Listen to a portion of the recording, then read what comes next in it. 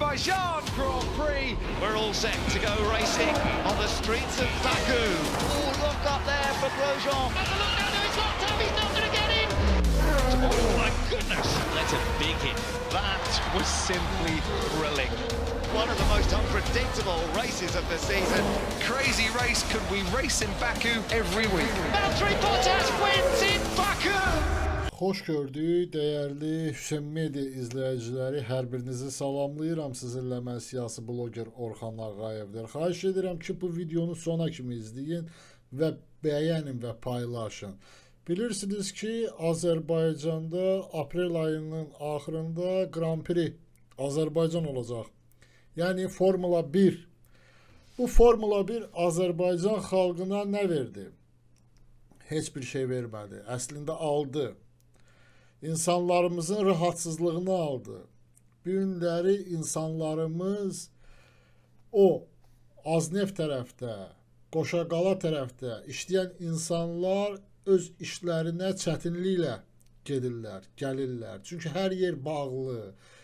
E, sürücülər şəhərdə tıxacların problemlərindən danışırlar. Məs Formula 1 ərəfəsində insanlar həqiqətən də bu tıxaclarla əziyyət çəkirlər və bizim bu günləri bu məktəbli körpələrimizə də bu toxunub, balalarımıza da toxunub ki, Formula 1 yarışmasına görə orada ora düşən məktəblər işləməyəcək və onlayn sistemlə dərs keçəcək. Təhsil Nazirliyinə bildirirəm ki, daha bu məktəbləri yığışdırın, sökün, ora bir uca mərtəbəli bir binalar tikin. Onsuz da bu işin artıq peşəkarısınız da sizlər. Day bu məktəbləri yığışdırandan sonra ancaq onlayn dərs verin də insanlara. Onsuz da bu şagirdlər pulla gedib gəlirlər məktəbə. Nə bilim, məktəbi bu şagirdlərin valideynləri saxlayır.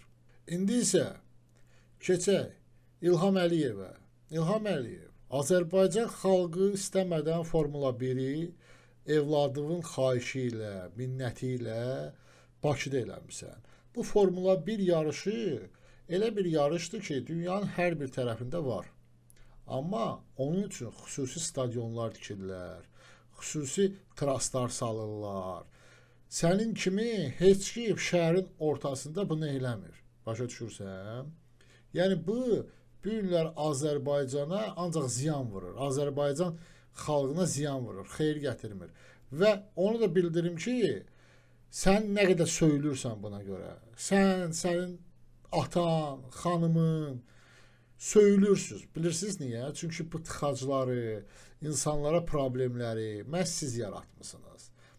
Azərbaycan xalqına bildirmək istəyirəm ki, siz susduqca, öz problemlərinizi qabartmadıqca Əliyev hakimiyyəti sizi daha da dalana sıxmaq istəyəcək və istəyir də və bu günlər onu eləyir də və hələ ki məharətlə alınır. Çünki Azərbaycan xalqı özünü qoyub yuxuluğa. Yuxunuz şirin olsun.